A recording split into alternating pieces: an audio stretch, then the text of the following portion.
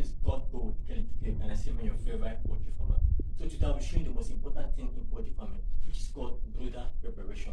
But before then, I will strongly advise, please go back to my last video so you get the fundamental understanding of what you're actually doing here today. Okay, and please have an organic, organic, share now, like now, subscribe to my channel and click on the notification bell. So immediately I release a brand new video, you get it, it pops up on your phone automatically. Then you subscribe, and you and you checking uh, God code on YouTube. No, it's not necessary. Okay, so whenever I release a new video, it pops up immediately. So that's by the way. So what is breeding? Breeding refers to the early stage of a chick where utmost care is required for to ensure their health, safety, and growth of the flock. Now, what do I mean by growth of the flock? When I meant by growth of I mean from day old chick to eight weeks. Yes, eight weeks.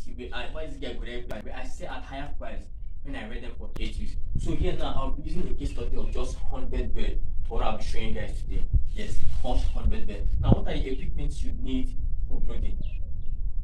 You need your feeder, you need your feeder, you need your drinker, you need your heat source, you need your light source, you need your height adjuster, and you need your breeding guard. Now, when I mean by breeding guard, breeding guard just it means a circular form. What is the importance of your breeding guard? It helps to restrict their movement. It helps to restrict their movement and it helps to control their feeding behavior. That is just guard. But I'll be using my breeding guard. Actually, yes, there's another space inside here. But I it there, so here will be open for them for just 100 beds.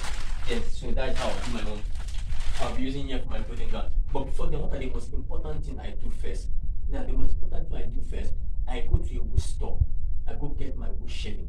Please, I would strongly advise, as a rural poultry farmer, don't use sawdust. Please, don't use sawdust. Now, what are the disadvantages of sawdust? Sawdust affects their respiratory tract. And according to the name, sawdust is very dusty. And when your birds inhale them, it, it, it, it disturbs their respiratory tract. And broilers can be so funny that they will see feed, they will leave feed and be feeding on sawdust. Now, it might not affect them at that period, but when they get to four weeks, five weeks, your bird will start dying. And you start running head scatter to your bird looking for medication, antibiotic to give them. No, please. The issue is your sawdust you've been using. Your sawdust you've been using has been affecting, affecting them badly. So please don't use sawdust. What I'll advise, there are many, there are many materials you can use. You can use paddy hawk if it's available to you. You can use straw if it's available to you. You can use sand if it's available to you. You can use straw if it's available to you. You can use wood shaving, which I'm using today, if it's available to you. You can even use dry leaf. Are very important. Please don't use sawdust. Please. As a poultry farmer, don't use sawdust. Okay, thank you. Now, when I get my wood shaving from a store, I know yes, most most of the poultry farmers say eh, sawdust is, is very cheap. We don't pay for sawdust. My wood shaving is expensive. Wood shaving is just a bag here in my area, just one thousand naira. And when you get it, it's okay. Don't use sawdust. Sawdust might be cheap, but it will kill your bird massively. Okay, thank you. So when I get my wood shaving, I dry them for two days. Now, when I mean I them for two days, I apply chemical. Now, that chemical I apply for them helps to kill the unseen bacteria, insects, termites you don't you're not seeing. Now, when I mean two days, around nine in the morning, we bring them out. By that time, sun should have come out. You bring them out. Around evening, by three, you take them in. Do it for two days, and you keep it aside. Now, you come to your breeding house. Now, there was some the terminology called whitewashing the breeding house. You whitewash your breeding house. Yes, whitewash it thoroughly. Now, I will advise you wash your house very early in the morning. Yes, I wipe it very early in the morning. So uh, around 12, it will dry. Then you fumigate it, you apply chemical on it. Then you airtight it, you close it for two days. Now, airtighting helps to kill all the insects, insects, the termites, the ants, even scorpion. It helps to kill them faster. Now, after two days, you open the house. Make sure you open everywhere so that the toxic smell will go out and fresh air comes into the house. Then you sweep out everything. That is the most important thing. Please note this. That's the most important thing. Your wood shaving, drying your wood shaving, because I mean, they might be wet when you get there, and whitewashing your house. So that is it. Now, let's go back to the first thing you do when you are done with all these things. Now, your wood shaving, spraying your wood shaving. Now, it is very important to use, very advisable that wood shaving should be applied 5 feet deep, 5 inches deep from the ground. You can use your long finger to measure it. Bush shaving should apply five inches deep. You see, five inches deep, inches deep. Now, why is it advisable to apply your bush shaving five inches deep? Now, it helps to control ammonia. It helps to control carbon monoxide.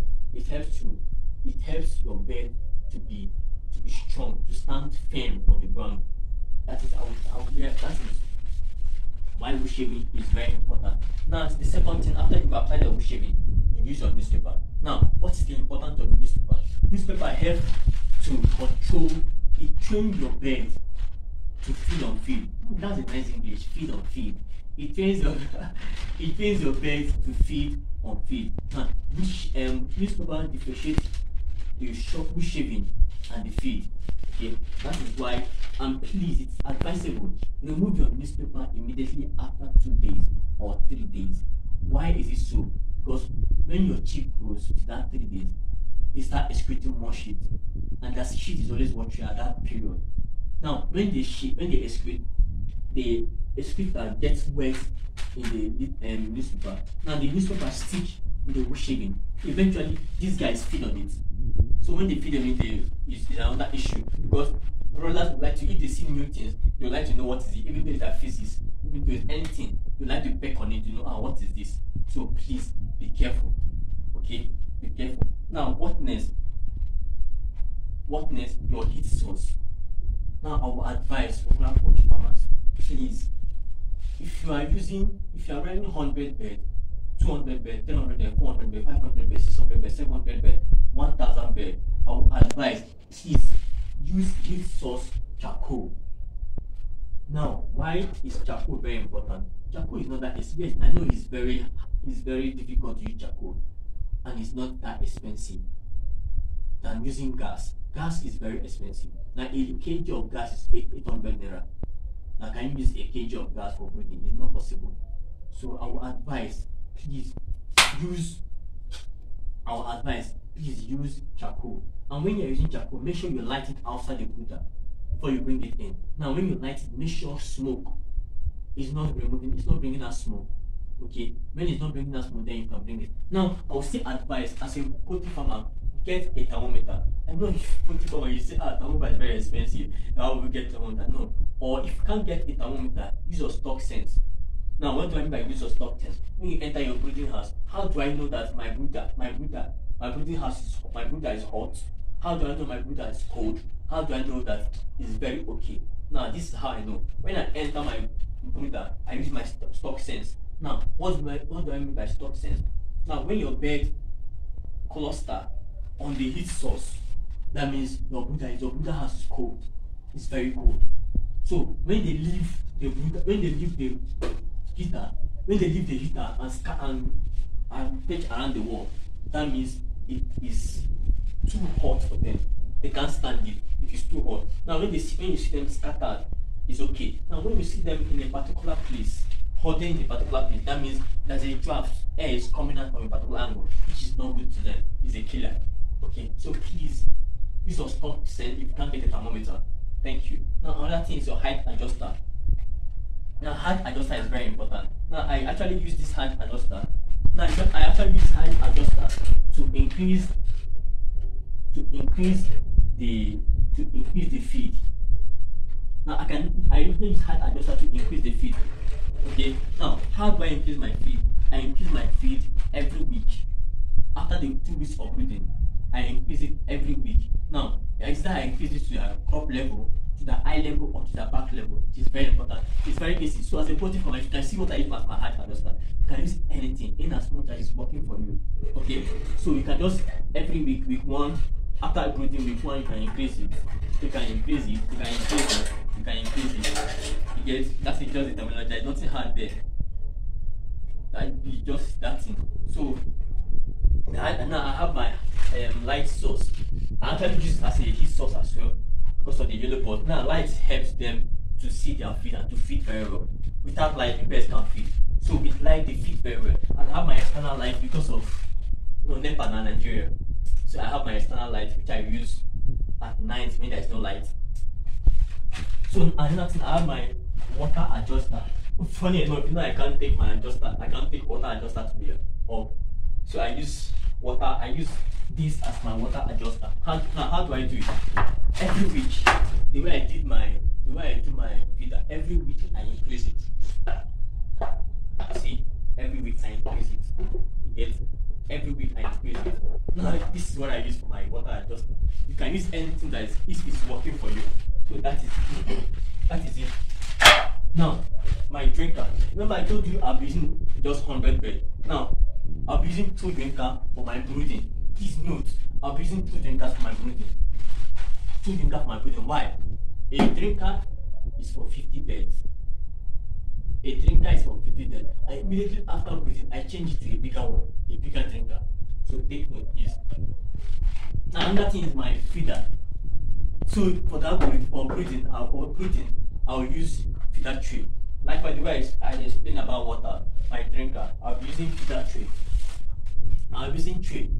Now uh, I will change this tray immediately after three or four days. Why? Because they waste, they eventually end up wasting the feed. So I change to feeder. Because they can't waste if you put feed here, they can't waste it, definitely they can't waste it. So they waste more feed here than here. Okay? So that is by the way. So another thing I to talk about, I've actually explained everything here. Another thing I'll talk about is please your clothing what you wear in a poultry farm. Now, this is what I put on. This is what I always wear. This is what I always wear when I buy in my poultry farm. Yes, I choose to wear it.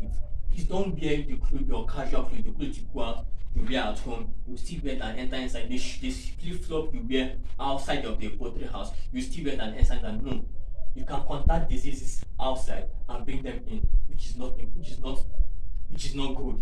It's a killer. When disease outbreak comes in, it, it, it kills your bird. It's Okay, so please, I will advise don't wear, don't use the clothes you wear outside of your house, brother, and wear them come inside. It kills your bird. So that's why we're coming to security. Most poultry farmers don't really get the standard of biosecurity. Now, there are three types of biosecurity. You have the conceptual biosecurity, the, the structural biosecurity, biosecurity, and the operational biosecurity. Now, when you have these three biosecurities in your poultry farm, trust me, you will never have an encounter with an outbreak of disease. So please, I will advise, please, be careful when you are in, when be careful with the things you wear in your poultry farm. And please, don't wear jewelries in your poultry farm. It is not advised. Always cover your head. I will advise you buy an a cover cover all. Yeah, cover all for your cover all for your poultry house. It is very important. And make sure you clean it up when you leave the farm and whenever you enter the farm, make sure you clean it up. Okay. And please, after checking all these things, there's something called equipment check. Check if all these things are working. Check if your height adjuster is working. Like the other day I came my height adjuster, I never knew it that's spoiled. Have to just readjust again. Check if your drinkers, your feeder, if your drinker is leaking, you change it. If your feeder is not okay, you change it. If your light source is not charged well or your bulb is not charged well, you change it. So these are very important things. You go back to my last video so you get the fundamental things of what I just explained now. My last video will get put you on the right lane or what I've actually explained here today. So please and also please like my channel, subscribe, hit the notification bell. Okay, so thank you so much. I really appreciate it.